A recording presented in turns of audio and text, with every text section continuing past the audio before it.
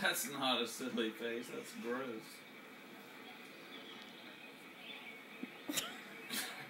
Quit picking boogers.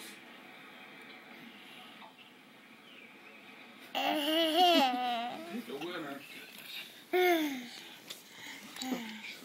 What are you gonna do with it? With that?